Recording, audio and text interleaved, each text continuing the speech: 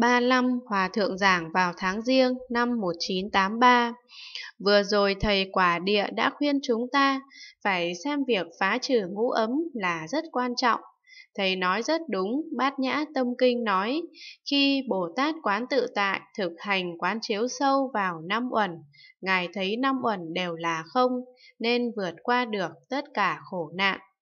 Quán tự tại, quán sát, nghe thấy mọi hiện tượng trên thế gian một cách tự tại, trong khi thực hành thiền tọa, từng bước tiến sâu vào thiền định, trí huệ được khai mở dần theo từng giai đoạn.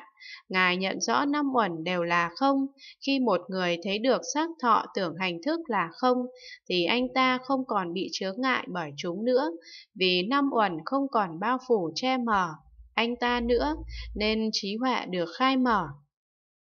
Lúc này không phải người ấy chứng được quả vị gì hoặc được thoát khỏi tam giới đâu, anh ta chỉ đạt được trí huệ, nhờ trí huệ đó anh ta thoát khỏi khổ nạn và có được niềm vui giải thoát, nhưng anh ta chưa thực sự thoát khỏi khổ lụy và chưa chứng đạt niềm vui tịch diệt.